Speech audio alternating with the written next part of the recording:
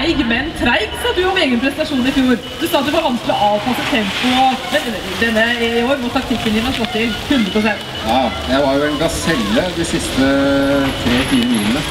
For at jeg, ved Skramstadsetet så lå jeg jo jeg, fire minutter bak merkekravet.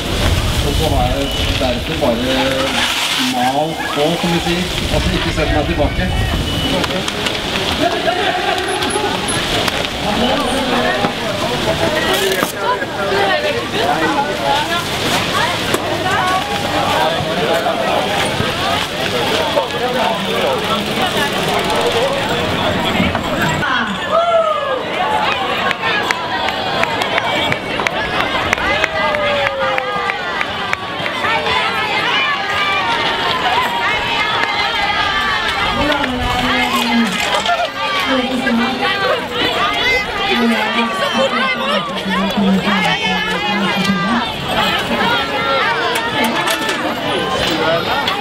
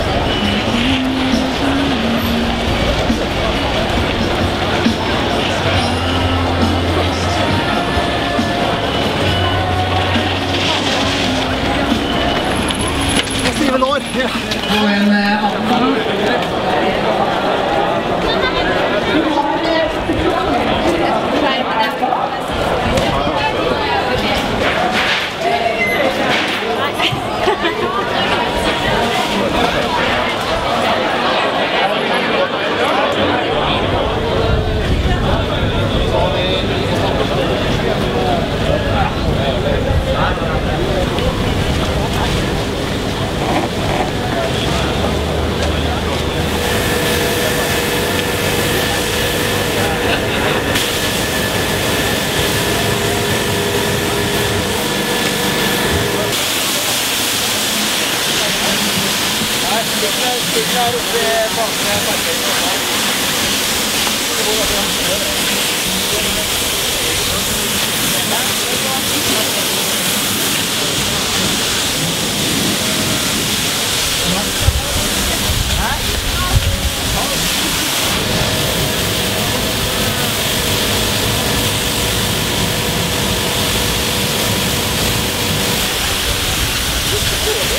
Yeah.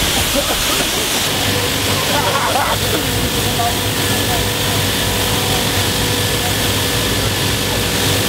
greit å få verkstedet. Ja.